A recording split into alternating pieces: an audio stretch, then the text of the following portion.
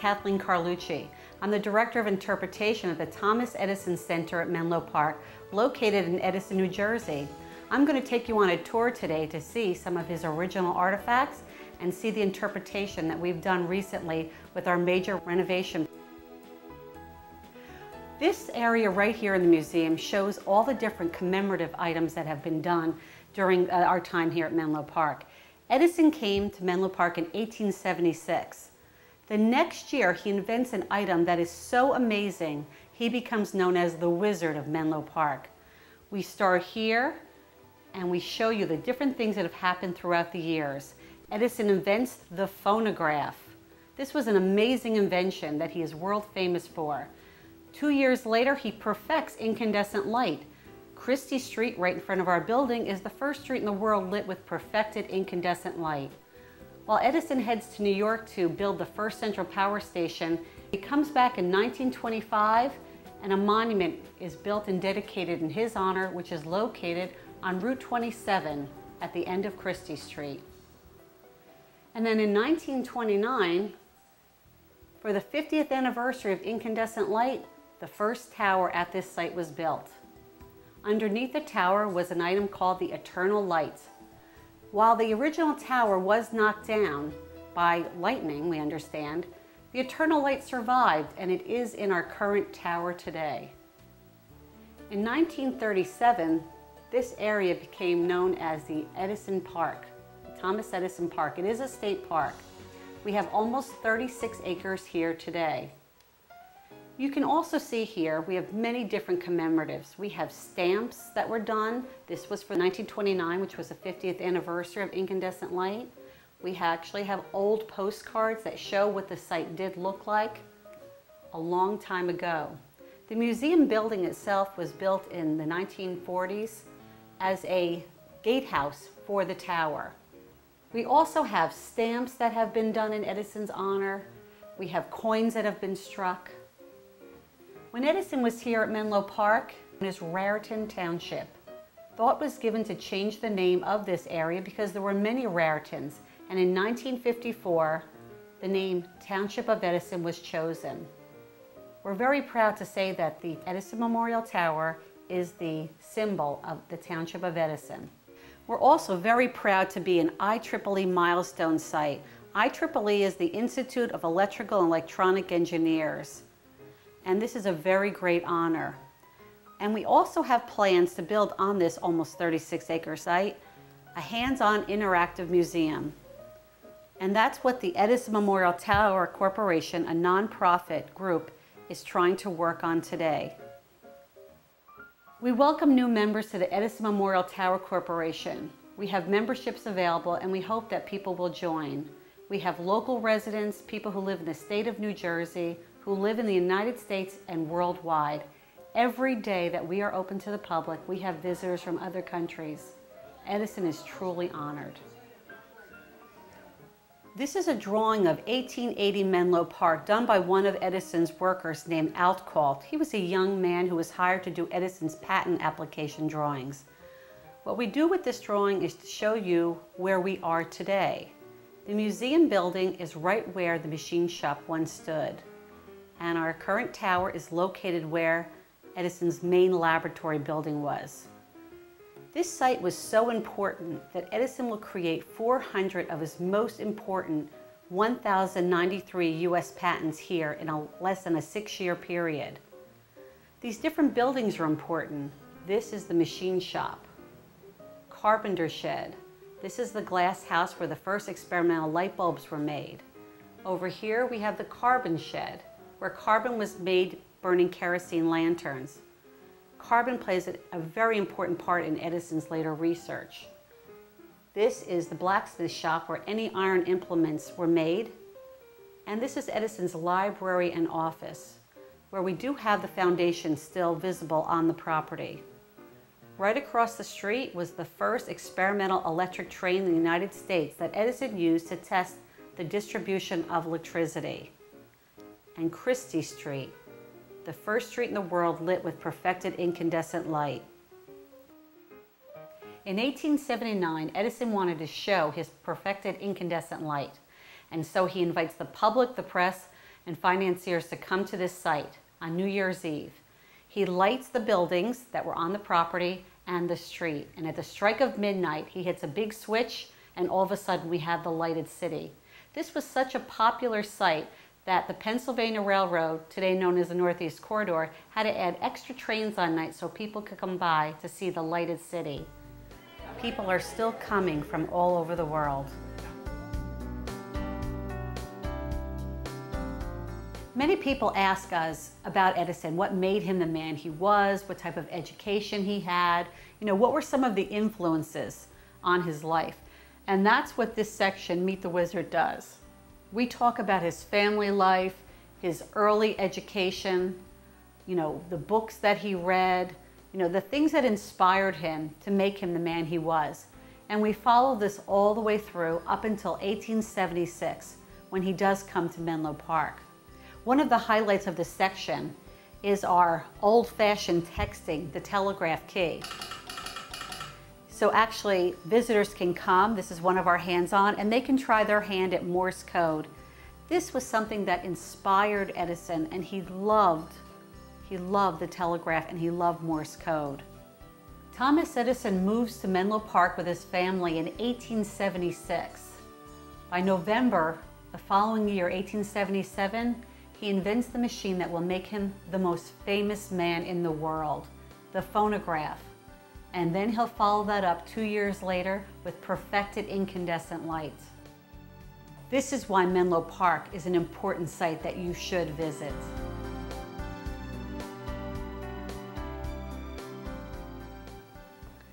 This is our Hall of Patents where we showcase 20 of Edison's important patents done during his time at Menlo Park. I do like people to take a, a particular interest in this frame graph that we have. This is a, shows the patent years that Edison was creating inventions. And what is in particular, it shows where all those large spikes are going up high. Edison was his most prolific at this site. This is where Edison invents the whole concept of R&D. And at Menlo Park, he was his most prolific. As a matter of fact, he called his laboratory his invention factory because that's how many um, new inventions he created during this time. This wall in particular shows what this site looked like during the 1880s. This photo shows Menlo Park high up on the hills. We are actually the highest point on the railroad from New York to Philadelphia. And so when Edison talks about the rolling hills and how beautiful it was, this is what it was pictured like. This is what he sees during that time. There were five main buildings on the laboratory site at that time. None of the buildings do survive, but we have a description of each one and some of the work that was done there. What's interesting is you can see some of Edison's workers. In particular, his workers are standing on the top floor of the laboratory. Now this is where the tower stands today. And I was mentioning how high we were. His workers actually in a letter wrote that they were watching the building of the Brooklyn Bridge from that top site there. This is a description of the different buildings and it tells what, you know, what their name was and what the work was done in each one. Now this was almost a complex. There were many people working here. It was a real tight-knit community. The workers lived locally and a lot of the single men would, lived in the Sarah Jordan boarding house. That was located just a little ways down the street. Everybody was within walking distance. Sarah Jordan was a woman who was a widow. She was a relative of Edison's wife, Mary Stillwell Edison, and she lived on one half of the house with her daughter and with her maid, and the single men lived on the other half. She was evidently very well known for her pies. In this picture, we have a close-up of the blacksmith shop and of the carbon shed. It was actually the night watchman's job to go to the carbon shed at the end of the evening where kerosene lanterns had been burning all night long. And his job was to scrape the carbon, the black soot, and make carbon buttons which were very instrumental in Edison's research. And this area today is right behind where our tower stands. The carpenter shed was really important in Edison's work also. This is where all the patterns would be made and any other wood products that they needed. He, he needed to create examples and, and do testing on it. All these individual buildings are really important in the work Edison does here. This site, Menlo Park, is known as the world's first organized research lab. Edison had come across different problems that had happened while he was trying to make other inventions before. And he knew that he wanted to bring all these experts together. And so we needed all these different buildings that were filled with craftsmen, you know, experts in their own field and different engineers so that Edison could be quick about getting all the different answers to the different questions he had while doing research. And this is one of the reasons why his, he was so prolific at this site because he could go right back to the pattern shop, for example, and have something adjusted. Or he could go to the machine shop and have a correction made. And this is what enabled him to be as successful as he was at Menlo Park. This is a picture of the machine shop with some of the workers in front. This was a very important building, and actually, our current museum is located on the footprint of what would have been uh, the machine shop, although it was a much larger building than we have here. The machine shop is a very important feature of this entire complex. This is where all the machines were made. In particular, it's where the tin foil phonograph was made. I mean, this is the item that makes him known as the Wizard of Menlo Park. Also, the dynamos were inside the machine shop building, and this is what would power the system that he would show on New Year's Eve, the perfected incandescent lights. The glass house was a small building, but really important. This is where the glass blower actually would make the first experimental light bulbs. Also the vacuum pump, which is an integral part of Edison's later success with the incandescent lights. He does perfect the incandescent light. Any glass instruments that were needed were also made there. So it really was an important, important uh, factor. The last building Edison built on this site was his office and library, which we do still have the foundation of. I mean, this is where Edison's changing, you know, from that. He changes a little bit beforehand, but really he comes into his own with the organized research lab because he builds a very big library. It's something that he utilizes, but also something that his workers could utilize. He develops the team uh, research approach, and it makes a big difference in his later work. Now, this photograph in particular is shown later after Edison leaves, and you can see some squatters have moved into the building. This is a drawing of Edison's home, which was located on the corner of Route 27 and uh, Christie Street. It actually served as the business office and model home for the Menlo Park housing development that Edison bought. And it was right across the street from the Pennsylvania Railroad, which was a wonderful aspect of this property because he could get back into town in order to meet with different investors. This is a photograph that we had blown up of the Menlo Park machine shop. As I mentioned, this area was well photographed and we have a wealth of different photos we can share. Up here in the corner, we have a woodcut. It's the exact replica of this photograph, but people were put in. At that time, they did not have the technology to put photographs in newspapers, so woodcuts such as this were done. That's why a lot of the things you see are drawings. Now, Edison had you know, grown up and learned in a machine shop culture, but he will develop the R&D culture here. He'll start in his Newark shop, but then this is where it will really come to fruition. One thing about Edison is he sets goals for himself. His goal here was that he would have a small invention every 10 days and a large one every six months. He will actually exceed his own expectations, and that was a pretty lofty goal at that time. Machines such as this one, the lathe, were used at Menlo Park. And on the lathe would be made machines like this. This is a replica of the tin foil phonograph. Edison was working on another project when he thought he heard something. And so he draws this drawing, located here, and he gives it to his Swiss trained machinist, John Kruesi, who builds it.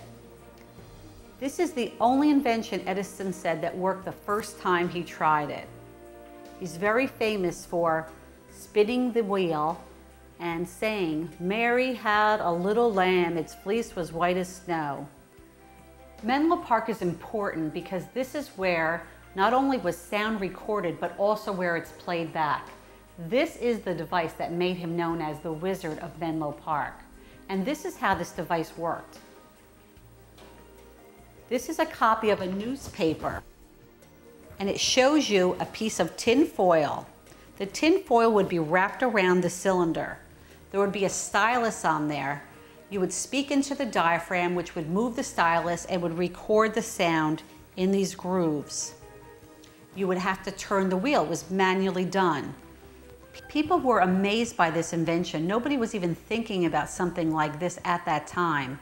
And so he had copies of his tinfoil phonograph made and they were sent around the world. And there were exhibitions to show this amazing device. This light bulb was actually made at Menlo Park. It was made in 1880 and it has a bamboo filament. Now, of course, this is all completely handmade. As I mentioned, they made the carbon right here on the site.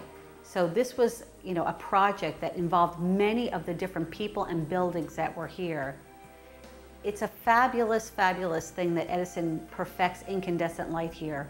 But what he does, which is even more important, is he develops a whole system of electricity distribution. And he tests that out here. He, had, he did try many different items uh, as a filament until he did come on bamboo. And the first commercial light bulbs were made here. The building in the background shown here was called the Lamp Works because actually each light bulb was called a lamp at that time. And that was located on the other side of the railroad tracks away from Menlo. You can see all the workers here, but there just weren't enough to keep up with the demand. So Edison's factory did move. What Edison does here at Menlo Park is he doesn't invent the light bulb. He makes the perfected incandescent light. But really what he does is he commercializes the electric light bulb. He makes it longer lasting and so it's a more practical light bulb. I want you to please come down and visit our museum. We have so many amazing original artifacts that we love to show and you'll definitely be interested in some of the other items that you've never even known that Edison was making. This case has quite a bit of archaeology that was found on the site. It was actually very hard to pick out exactly which pieces we wanted to put out because two archaeologists have done digs here at the site and it was amazing that they found these items. Um, one of the items in particular are pieces of a vacuum pump, which of course, as I mentioned earlier, was instrumental in Edison's research but you see things such as crucibles that were used to mix different chemicals, a copper spoon, mica, a thermometer, wires. I mean, just amazing things. This long piece right here is actually the handle for a water pump on the site. We also have this rail from the uh, experimental uh, electric train that was here at Menlo Park. This train went quite a ways. It went through what's now known as Edison, down through Metuchen to an area that was known as Pumptown Corners. There was an, also another shoot of it that went up to what today is known as Oak Tree Road. There had been a copper mine there. And so this is very local and it was very important. And it's still very important to learn about our history today. This enlarged photo is the inside upstairs of Edison's laboratory. You can tell by the the, the photo, the way the men dressed at that time. But this is a photo of exactly what it looked like. These glass jars that you see on top of the counter are actually wet cell batteries at that time. And a lot of the different instruments that he used, there's a lathe actually that's laying right there also. I'm going to read from this excerpt from the Daily Graphic talking about this laboratory. This is a photo enlarged of the upstairs of the laboratory. And per the document, it says, upstairs we climbed to a room the size of the building with 20 windows on sides and ends. It's walled with shelves of bottles like an apothecary shop. Thousands of bottles of all sizes and colors. On benches and tables are batteries of all descriptions, microscopes, magnifying glasses, crucibles, retorts, and ash-covered forge, and all the apparatus of a chemist. Edison actually is a very gifted chemist. Um, he learns this and studies this since he's a young man. And we like to showcase what was being done. This was a working shop at that time. Right below here is actually one of our newest acquisitions. We were very grateful to receive this as a donation. This machine is actually known as a dynamo, and Edison had called it a long-waisted uh, Mary Ann, and it's also known as a bipolar dynamo and it was uh, made in 1882 when Edison was still coming to Menlo Park. It was made in his New York machine shop. I have a Scientific American from 1879 which shows the interior of the machine shop and you can see a bipolar dynamo right there with some of the workers um, working on it and correcting it. In this case we have a telegraph key and sounder and a repeater. Um, a lot of Edison's early background is working with telegraphy and his research is funded by Western Union. They would pay $100 a month to help sustain the machine shop R&D, research and development, is very expensive and Edison will continue to work on the telegraph and the repeater to improve these different devices. The telegraph at that time, well, even before he comes to Menlo, is the world's first long distance communication system and it was very important. It really was the height of technology. And Edison actually loves this machine and will do so much important work with it. Behind it is a later Edison wet cell battery. A lot of uh, Edison's early work was actually taking part with the telephone. And uh, he actually will perfect Bell's telephone for him. The problem with Bell's phone was they didn't transmit far. Um, many people were working on the telephone, but Alexander Graham Bell has the patent. But Edison will perfect the telephone here. He'll create something known as a carbon button transmitter. This device was in every phone until the 1980s when phones became digital. So we'd like you to come down and see what this phone looked like at that time. This is an original Edison phone.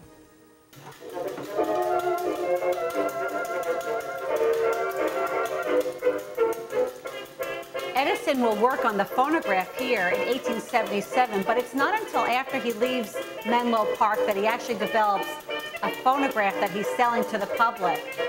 Uh, the first phonographs had records made out of a brown wax cylinder what we have here at Menlo, and all our original Edison phonographs do work, are other types of uh, cylinders. We have a black plastic, and we also have blue amberol. Uncle Sam right now is dancing on top of a disc record. These phonographs were all made at his West Orange facility, but we play them here because this is the birthplace of recorded sound and where it was played back. And people are just thrilled these three in particular are over 100 years old and they all still work. Let me show you how the cylinder phonograph works. This one in particular, uh, this cylinder, this record, is made out of what's known as blue amberol. The records, the cylinder records, were sold in containers like this. This is an original cylinder container. Edison's picture is on this and his name. Edison puts his name on everything he makes, and so you could be sure it was made very well. This machine is not electric, it doesn't use batteries, it's all mechanical, so it has to be wound up. The wind actually lasts for quite a long period of time.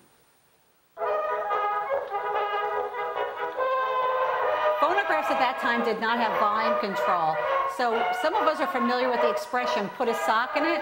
That's how they would reduce the sound of the different phonographs. They would actually shove a sock into the bell of the phonograph. And this is how you reduce the volume at that time. You can see on this phonograph, that's the Thomas A. Edison trademark, but it is also his signature. It's a very famous signature, and it is known as the umbrella signature. This is our hands-on interactive center right here. We have some local people come by and people from all over the world, as I mentioned. The children, we have many different drawings that they can color. They could either take them home with them or they can hang them up as you see some of these are done. We also have a little a system showing what parallel and series circuits do. And I tell you, when I see the youngsters, especially in like middle school, showing their parents, oh, I know what this is, and now they're explaining it to their parent, it lights all their faces up, and it really makes us very excited. And of course, when you come down, you can try your hand at making electricity. This is called a magneto. If you turn around, you can make the light bulb light. And it also shows that you have to have a closed circuit. If you don't have a closed circuit, you won't have power. These are just a few of the things that we have right now. We hope to expand this hands-on interactive experience. This is not just for children, it is for the children in all of us. This is a picture of Edison seated on the front of his laboratory with some of his workers. And down below is another woodcut showing what the inside of the laboratory looks like. This model of Edison's laboratory, the one he called the Invention Factory, was made out of pieces of the original. And it was given as a gift to Edison in 1922 by the Edison pioneers. It was from the second floor porch that Edison's workers were watching the building of the Brooklyn Bridge. He changed this site forever and would live most of his life in the confines of New Jersey. This is the image of the Wizard of Menlo Park. It is something we have on our t-shirt, but it really captures the imagination, you know, for our young students. I have tours all year long. I have them at night, I have them during the day. Um, I get many school groups and they just I don't know, they seem to get excited about this Thomas Edison. You know, it's, he's one of those figures that makes you feel like, boy, if I just work a little harder, maybe I can do that. And he really captures and sparks the imagination.